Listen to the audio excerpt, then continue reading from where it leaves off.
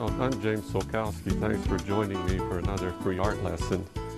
We're going to talk about a, another difficult subject here, and it's the, the nose, you know, on the portrait, because I think, uh, I know a lot of students have trouble with the nose, but if we break it down very simply, then it's no trouble at all, so let's just uh, I'll, tell you what, I'll, I'll do a head. This will be like the, the, shape of the head.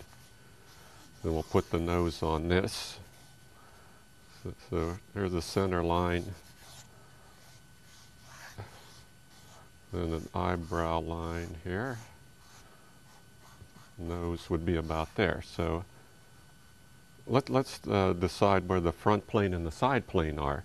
We'll say the light's coming from the left and if we break it down into planes, then it, then it really makes it a lot simpler. So there's a front plane and here's a side plane. Okay, there's shadow on the side. Now, there's actually, there's cartilage that goes like this goes out and in and out and in. So here's the tip of the nose. This tip of the nose is on the front plane. I think oftentimes the student will put the nostril on the front plane with too much light. But we have to keep it on the side. And, and here's another example of that. You see it follows, falls right on the side. We have to keep that simple. And uh, there's an underplane. So we have the front plane, side plane, and underplane here, and that's where the nostril goes. So we'll break that down. Maybe I could do it a little larger here. See, front, side, underplane.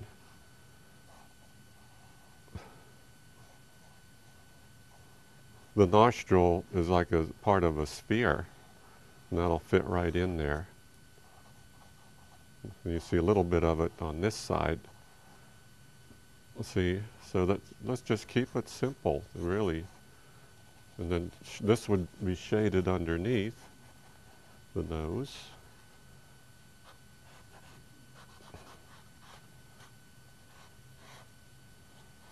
And as far as likeness goes, you could work work that in pretty easily once we get the main structure of the nose. So that's that's really what I'm concerned with here is the structure. See, and then once again, this would be in shadow.